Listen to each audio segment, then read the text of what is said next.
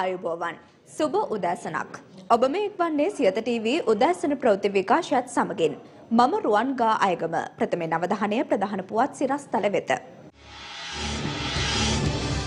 වැරදි කරන ඕනෑම පුද්ගලයෙකුට දනුවම් කිරීමට තමා සූදානම් බව ජනපති පූජ්‍ය මාදුළුවාවේ සෝභිත හිමියන්ගේ දෙවන ගුණ සමරු උත්සවය අමතමින් කියයි. තැපැල් දෙපාර්තමේන්තුව ලාබ ලබන ආයතනයක් බවට පරිවර්තනය කළ යුතු බව අමාත්‍ය අබ්දුල් හලින් කියයි. ජාත්‍යන්තර රූකඩ සංදර්ශනකරුවන්ගේ නිර්මාණ එළිදැක්වීමේ උළෙලක් මෙක්සිකෝවෙන්. නැවුම් දිනයක ආරම්භය. අද දිනය ප්‍රබෝධමත්ව ආරම්භ කරන්නට මේ උපදෙස් ඔබදන් ඔබේ ජීවිතයට එකතු කරගන්න. ඔබ ප්‍රතිපත්ති ගරුක විය යුතුයි. ජනතාව සඳහා ප්‍රතිපත්ති සේම ඔබේ සතුරන් සඳහා ප්‍රතිපත්තිද ඔබට තිබිය යුතුය. නැතිනම් ඔබට ජයගත නොහැකි. ෆිදෙල් කැස්ට්‍රෝ. බැඳුම් කර කොමිසම පත්කිරීම පිළිබඳ ආණ්ඩුවේ සුළු පිරිසක් විසින් තමන්ට චෝදනා සහ විවේචන එල්ල කළද තමන්නේ සිදු කරනු ලැබුවේ යහපාලන රජයක් ලෙස සමාජ සාධාරණත්වයේ ඉටු කරමින් වංචා දූෂණ පිටු දැකීම සඳහා බව ජනාධිපති මෛත්‍රීපාල සිරිසේන මැතිතුමා පවසනවා.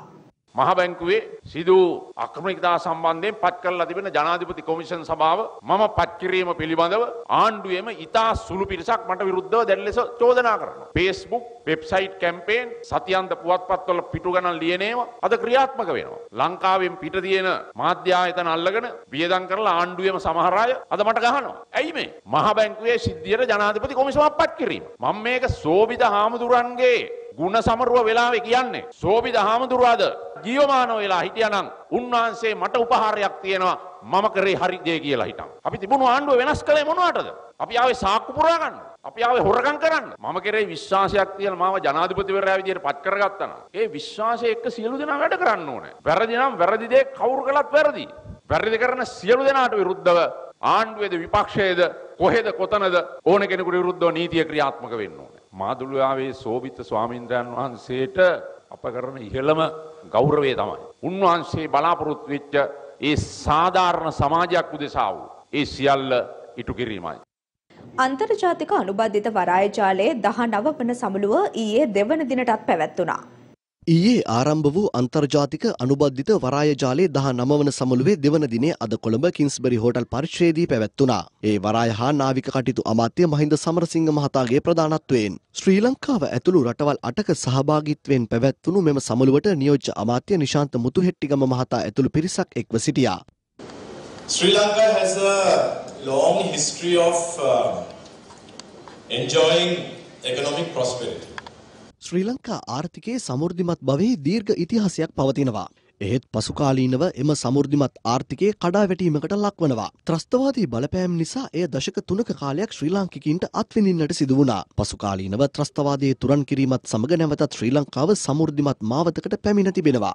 මේ වන විට අපේ රජය ඒ සඳහා කඩිනම් සංවර්ධන ව්‍යාපෘති ක්‍රියාත්මක කරමිනුයි සිටින්නේ. ඒ අනුව දෙදස් විස්ස වන විට ශ්‍රී ලංකාව සමෘද්ධිමත් ආර්ථිකයේ ඉහළට ගෙනීමයි අපගේ බලාපොරොත්තුව වන්නේ. Once again, welcome very much. Uh, all of you, welcome to Sri Lanka. අද දිනේ මුදල් අමාත්‍ය මංගල සමරවීර මහතා සිය මංගල අයවැය කතාව පාර්ලිමේන්තුවේදී ඉදිරිපත් කිරීමට නියමිතයි. ඊට සමගාමීව ඊයේ දිනේදී අත්‍යවශ්‍ය භාණ්ඩ හයක වෙළඳ භාණ්ඩ බදු පහත හෙලීම සිදු වුණා.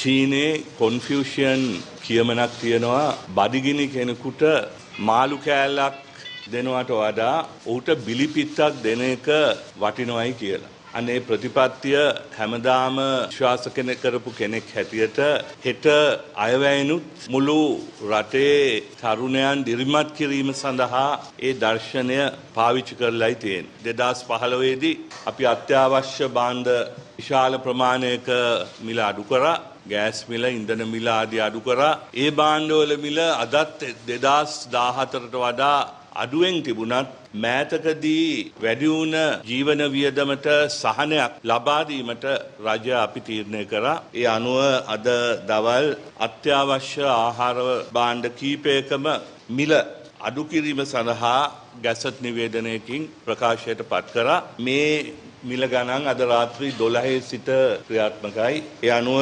අර්ථපාල් සහ ලොකුලූණු සඳහා වන වෙළඳ භාණ්ඩ බද්ද රුපියල් 39කින් අඩු කරා පරිප්පු කිලෝකක් වෙන බද්ධ රුපියල් දොළහකින් අඩු කරා කරවල වෙන බද්ධ රුපියල් පණහකින් අඩු කර තියෙනවා. ඒ වගේම පොල්තෙල් එලෝලු තෙල් කිලෝ එකක් සඳහා අය කරන බද්ධ රුපියල් විසි පහකින් අඩු කරලා තියෙනවා. මේ තෙල් අඩු කිරීම තුළින් වෙළඳ පොලේ ඇති පොල් මිලත් අඩු වෙන බවට අපි විශ්වාස කරනවා. මේ පුංචි සහන මල්ලට පමණක් රජය මාසකට රුපියල් මිලියන එක්දස් පන්සියක් පමණ දරන්න වෙනවා. හෙට මංගල අයවැය අද මංගල සහන.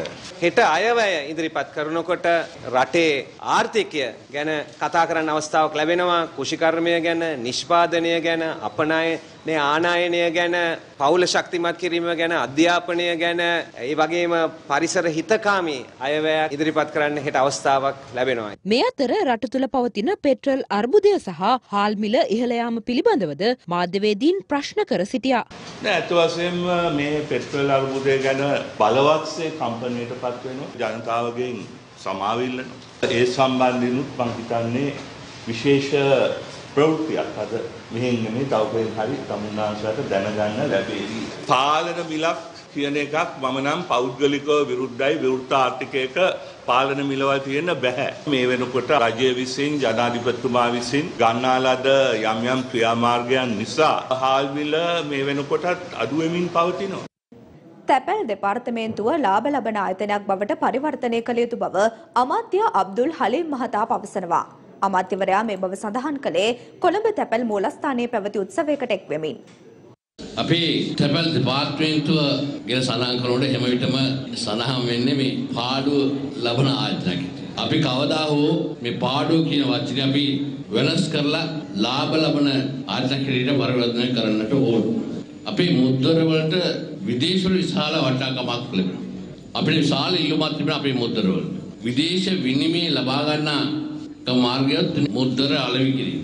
මේ මුද්දර කාර්යාංශය අද දින තාක්ෂණයත් එක්ක අපි ඒ සම්බන්ධ කරලා අපිට තවත් ඉතා වටිනා මුද්දර අපි නිකුත් කරන පුළුවන් විදිහට අපි වෙනස් කළ යුතුයි.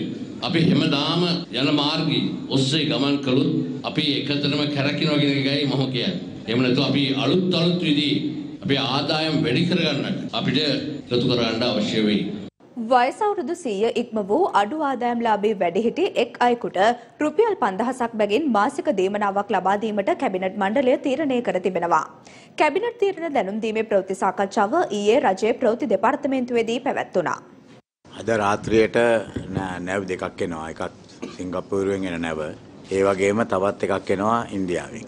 කොළඹ ප්‍රදේශවලට හෙට සම්පූර්ණයෙන්ම ඉන්ධන සපයත හැකි.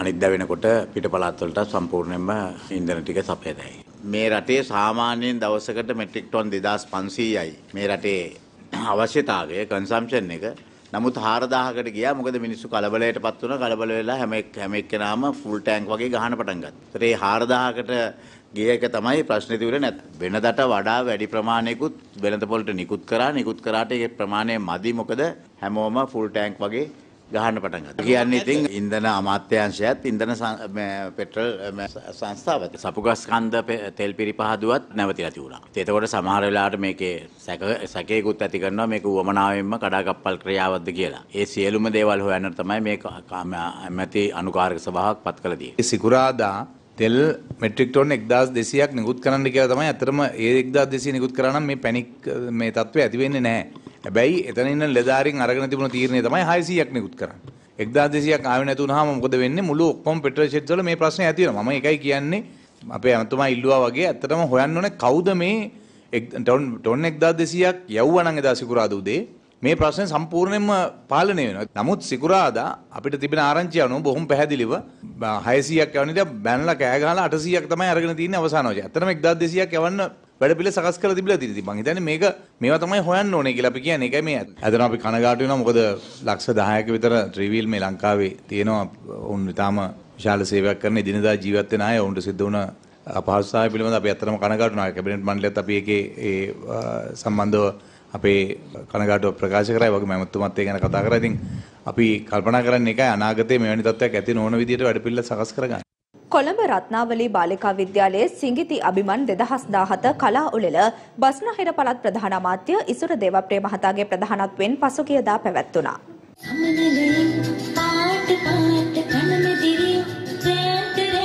කොළඹ රත්නාවලී බාලිකා විද්‍යාලයේ රත්නාවලී සිංගිති අභිමන් දෙදහස් දාහත විවිධ ප්‍රසංගය පසුගියදා පැවැත්වුණා. ඒ කොළඹ ආනන්ද විද්‍යාලීය කුලරත්න ශාලාවේදී.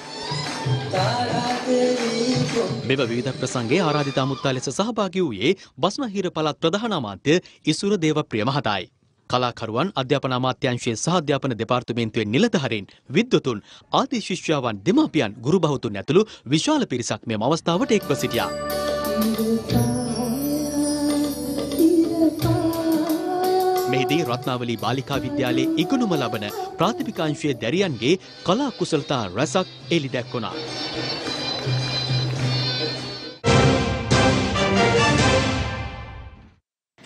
ඇදහිය නොහැකි නිෂ්පාදන පිරිවයක් දරමින් එන හොලිවුඩේ නවතම චිත්‍රපටයක් පිළිබඳවයි මේ වාර්තාව. මාවල් චිත්‍රපට සඳහා ඇලුම් කරන ප්‍රේක්ෂකයන් වෙනුවෙන් නවතම චිත්‍රපටයක් නිකුත් කිරීමට නියමිතව තිබෙනවා.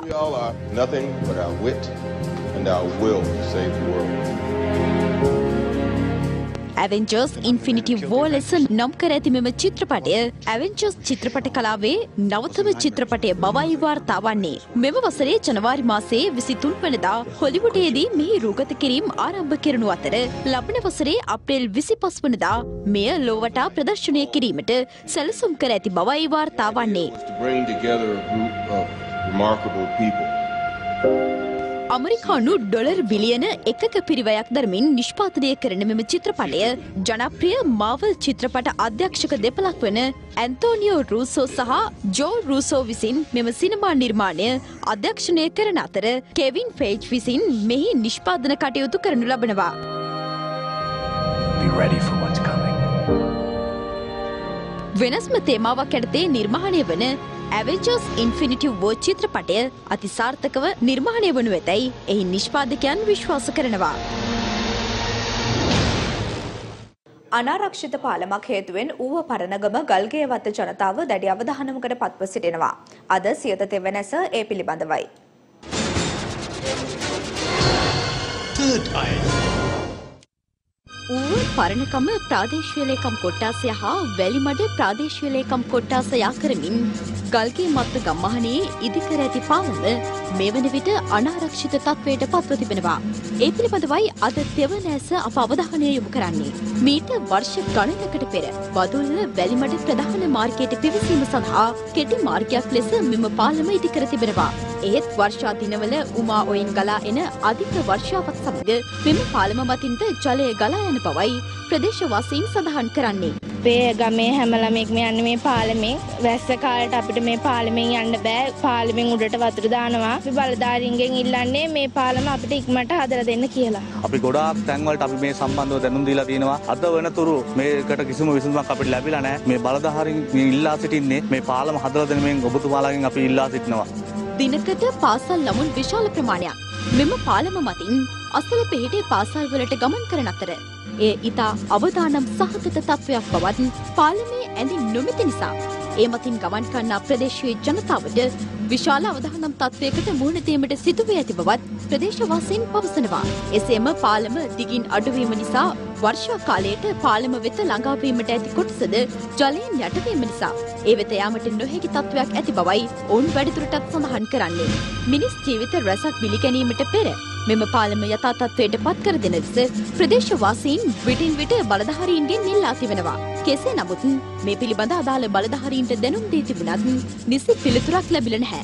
කෙසේ වෙතත් වටිනා මිනිස් ජීවිත රැසක් විනාශයට පත්වීමට පෙර මෙම පාලම යථා තත්ත්වයට පත් කර දෙන තෙක් සියත තෙවන ඇස අපද අවධානයෙන්. Third eye.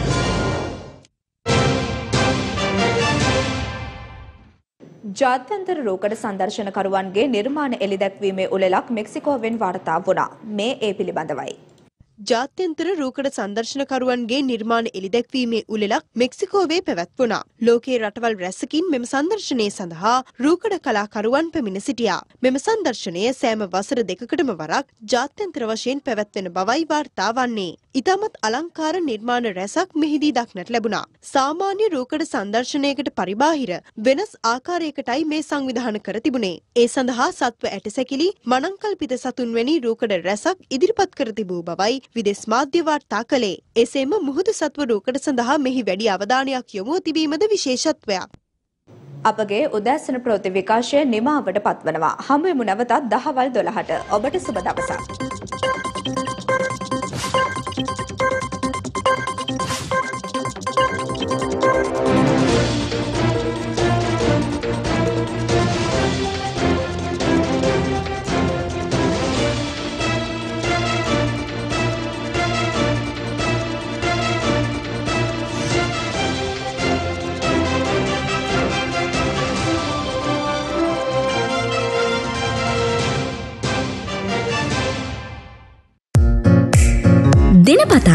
වීඩියෝ සහ ප්‍රවෘත්ති නැරඹීමට ඉහත බටන එක කලික් කර සියත TV සබස්ක්‍රයිබ් කරන්න.